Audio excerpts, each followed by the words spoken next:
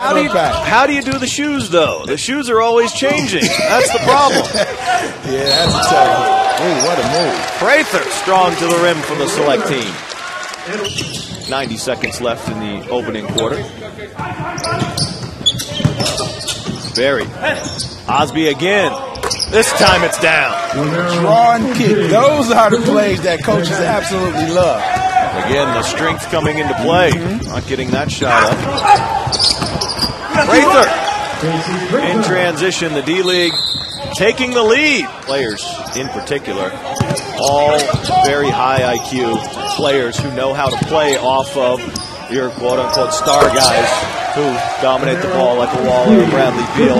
Bull at Kansas and, buy into the team concepts and the defensive concepts. So maybe having learned that lesson, it might be a quicker curve for the Wizards. Yeah, that's one of those life lessons you didn't like it at the time. All getting the fans very excited. We will see more later today from Willie Cauley Stein, Emmanuel Mudiay. So everybody at the top of the draft in action, pinned to somebody. And a lot of times, because there are so many people here and so many veterans, you'll recognize a face, and it takes a moment before the name comes to you.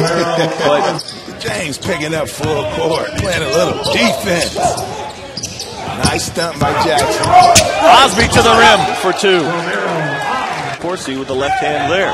Yeah, and you talk about Chris Alford putting his team together and Joe Jackson, you know, making a decision not to go play with the NBA teams and stay because Chris Alford, like you said, acted as a GM, so he knows he put the pieces together.